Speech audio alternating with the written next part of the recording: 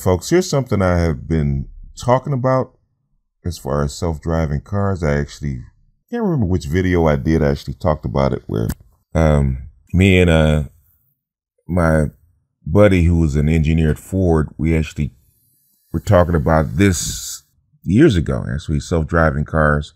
And he was telling me that the biggest roadblock was legislation. In other words, the manufacturers and the companies didn't want to be completely liable for accidents and stuff like that.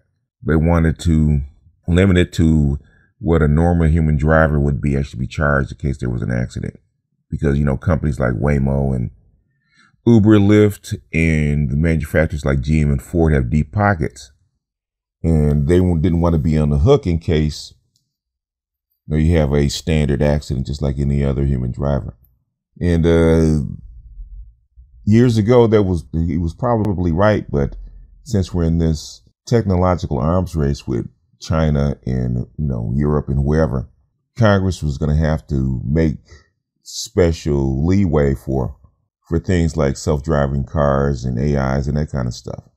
And I remember I think I put a video out maybe a year ago. I think, I think it was just about a year ago where Congress had actually passed bills to actually open up this kind of this kind of thing. And I think a lot of people said that driverless cars were probably not going to be um, implemented because of that. I think it was actually an accident in Phoenix, as a matter of fact. With I'm not sure whether it was, a, it was actually an Uber car, I do believe. It's an Uber car, and, and everybody said this is probably going to stall everything out. And uh, I didn't think so. I thought that Congress was actually going to overlook this and it's going to keep full, full speed ahead. That's why I want to read you parts of this because this is from our Ars Technica. And it's kind of long, so I'm not going to read the whole thing. But I'm going to read you to like the first first portion of it. Fully driverless Waymo taxis are due out this year, alarming critics. Waymo, Google's self-driving car project, is planning to launch a driverless taxi service in Phoenix in the Phoenix area in the next three months. It won't be a pilot project or a publicity stunt either. Waymo is planning to launch a public commercial service without anyone in the driver's seat.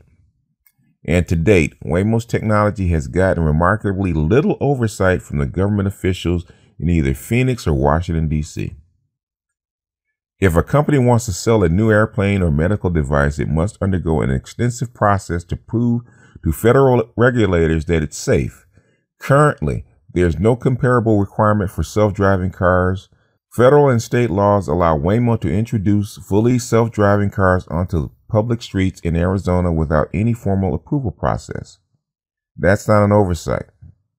It represents a bipartisan consensus in Washington that strict regulation of self-driving cars would do more harm than good. In other words, they basically they've been given their marching orders. They don't have any choice. If you think about what would be required for some government body to examine the design of a self-driving vehicle and decide if it's safe, that's a very difficult task, said Ed Felten, a Princeton computer scientist who advised the Obama White House on technology issues. Under both Barack Obama, get that, both Barack Obama and Donald Trump, the federal government has taken a hands-off approach to driverless car regulation. Instead of enacting new safety regulations for self-driving cars, Felten says, federal policies have tried to make sure that vehicle safety regulations don't inadvertently make it more difficult to roll out self-driving vehicles. Remember I was telling you that Congress wanted well, they wanted so many self-driving vehicles out there by 2019. It's been mandated by Congress.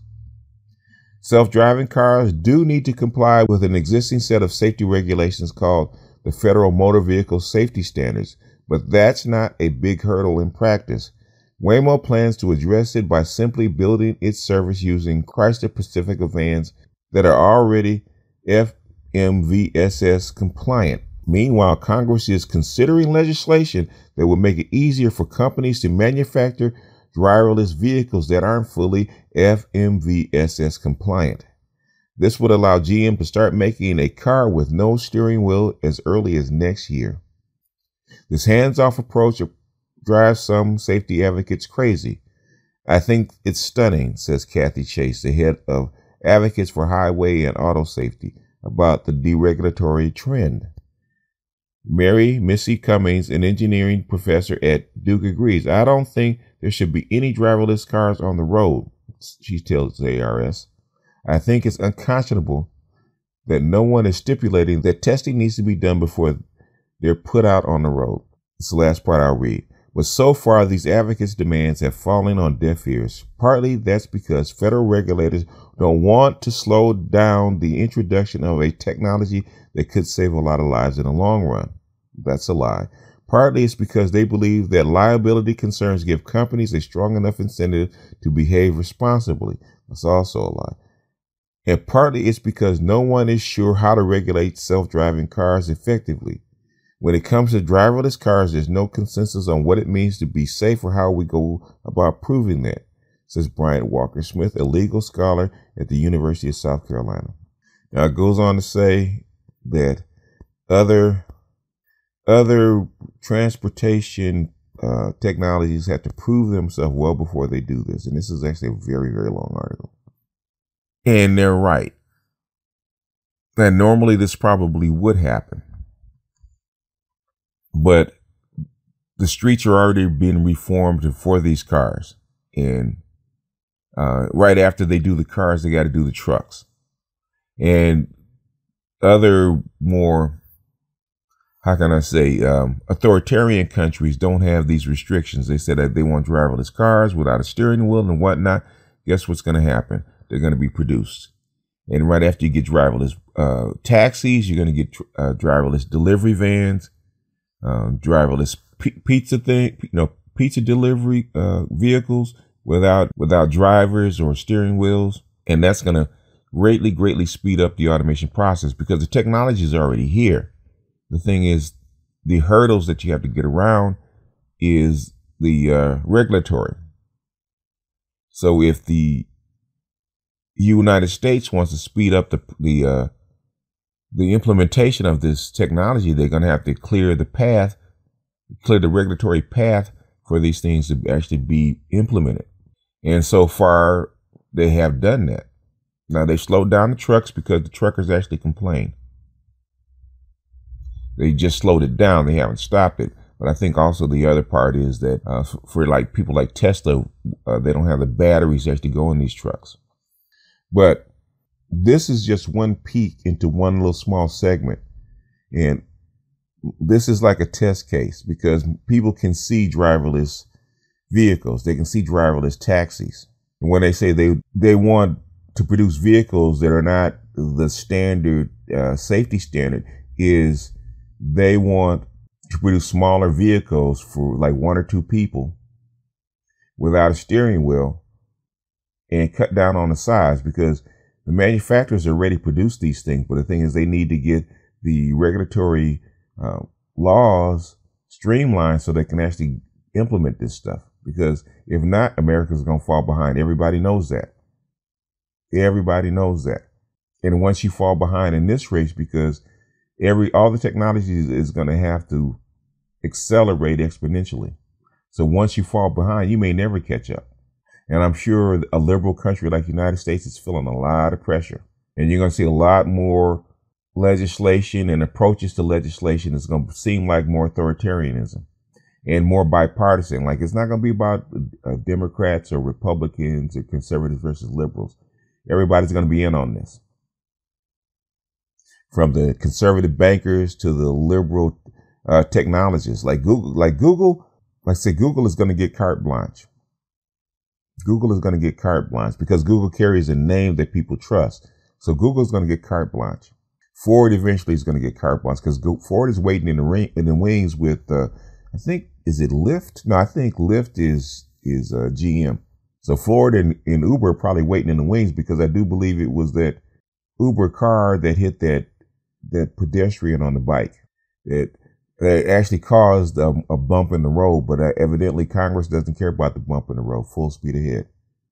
Prepare, folks, because we're not even talking about the AIs that are taking service jobs that we don't even see. AIs that can actually make cold calls in phone centers that we can't even see because it's invisible to most people. Uh, uh, phone centers uh, and cold calls are, you know, done by human beings, and very few people actually interact with these things.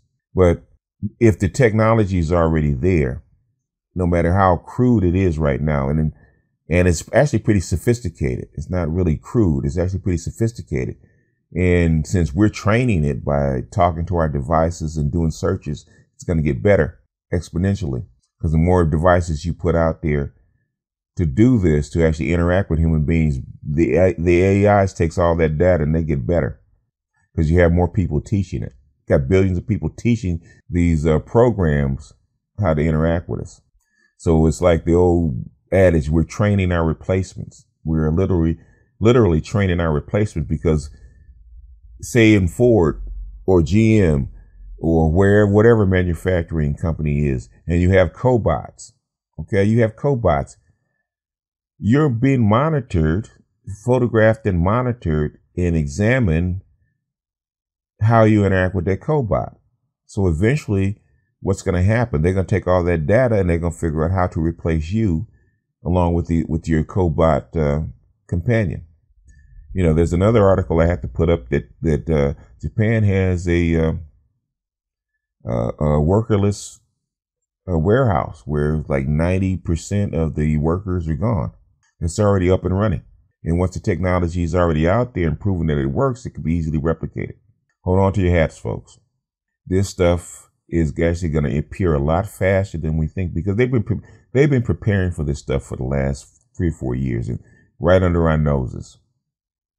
And like any technology, uh, they're afraid of Luddites because if Luddites get spooked, they're going to destroy the technology just like they did 200 years ago. And they don't want us spooked. They want to keep us nice and calm. Everything's good. Uh, the technology is good. You're not going to lose your jobs. You're going to get more leisure, work less hours, on and on and on. And I hope that's true. I really hope that's true. But in the dog eat dog capitalist competition that they're locked in with China, with a pragmatic uh, country like China, I don't know. I don't know because China can do stuff that we can't. They can snap their fingers and get things built. We can't. We don't even have a bullet train. China's building a whole whole uh, network of high speed trains going across the country. We don't even have one. United States, uh, the bullet train technology has been around for 40 years, 50 years. We don't have one. What does that tell you about a liberal country? Anyway, we jump off of here. That's all I wanted to drop. This is BGS out, and I will see you guys on the next one.